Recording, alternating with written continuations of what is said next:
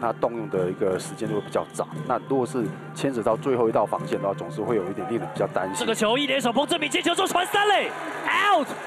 哦，彭正明的这个反应相当的快，而且传力很大胆。就最后陈凯伦要做助攻，但并没有成功。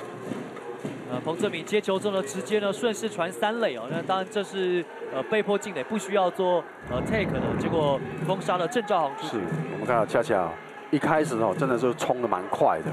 而这样的一个情形下，大家拜了陈陈凯文刚才点嘛，点的是比较强劲一点，所以接到球之后，恰恰传球又那么准的一个情形之下，我们看到二垒上的跑脚跑三几乎是完全没有机会了。